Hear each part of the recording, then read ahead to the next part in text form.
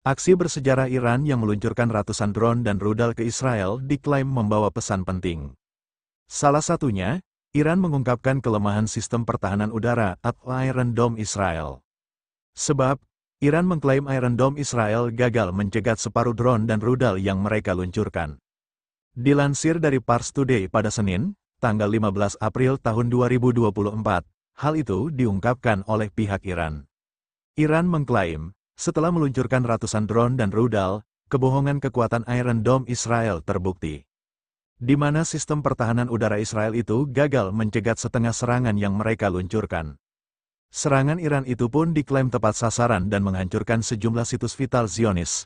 Padahal, sebelumnya Israel selalu gembar-gembor dan membanggakan sistem pertahanan udara tersebut. Selain itu, serangan Iran itu menunjukkan sebagian kecil dari kekuatan militer dan pertahanan bangsa Iran. Oleh karena itu, Iran juga memberikan ancaman untuk menyerang dengan skala lebih besar dan lebih ganas jika Tel Aviv membalas serangannya.